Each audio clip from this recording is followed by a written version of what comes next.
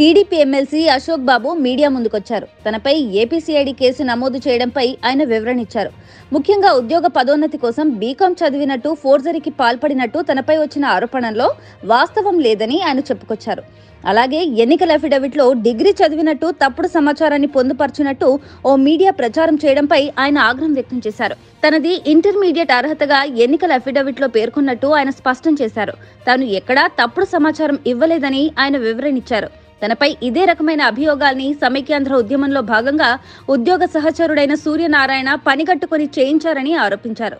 అప్పట్లో ఈ విషయమై స్పష్టమైన వివరణ ఇవ్వడంతో ఆ తర్వాత కాలంలో మీడియాలో ఎక్కడా ప్రచారం కాలేదన్నారు. ప్రస్తుతం తను టీడీపీలో కొనసాగుతున్న నేపథ్యంలో ప్రభుత్వం పనిగట్టుకుని కేసుల పేరుతో వేటాడుతోందని ఆయన వాపోయారు.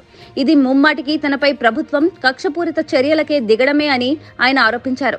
నిజానికి ఇది సిఐడితో విచారించాల్సిన కేసే కాదన్నారు. సిఐడితో కాకుంటే సిబిఐతో విచారణ చేయించుకున్నా తాను భయపడని అశోక్ బాబు తేల్చి చెప్పారు. తనకు పార్టీ అండగా ఉందని ఆయన అన్నారు. కాలం ఎప్పుడూ ఒకేలా ఉండదని సూర్యనారాయణ గుర్తుంచుకోవాలని కోరారు. ప్రభుత్వాలు మారుతుంటాయని తాము వస్తే ఆయనపై కూడా ఇలా చేస్తే ఎలా ఉంటుందో ఒకసారి ఆలోచించుకోవాలని హితవు పలికారు.